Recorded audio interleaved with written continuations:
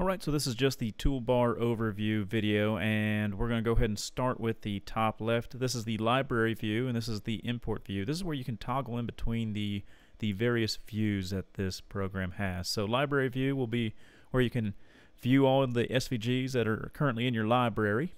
And of course the import view is where you would actually use this part to actually import the SVGs to add to the library. Okay, moving right along over here is the import directory. This is where you, you click that and a file folder will open.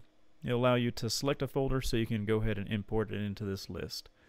Alright, so the other ones over here, if you take a look, uh, the, the A to Z, when, when we have files in here, it will automatically be sorted alphabetically from A to Z.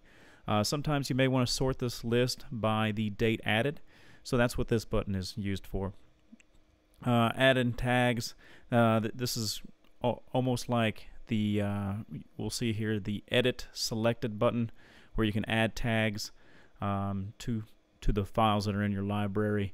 Uh, save PNG, that will uh, bring up our, our image exporter so that you can export the SVG as an image.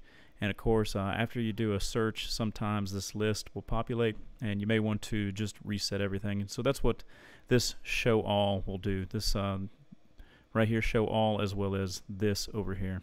And of course, the check for updates, we'll check for updates, see if there's any new versions out there. Alright, so that about wraps this up with the quick little overview of the toolbar section of this program. We'll go into more depth into how to actually use these buttons a little later, but I just wanted to explain to you what these buttons were briefly about that you see up here at the top.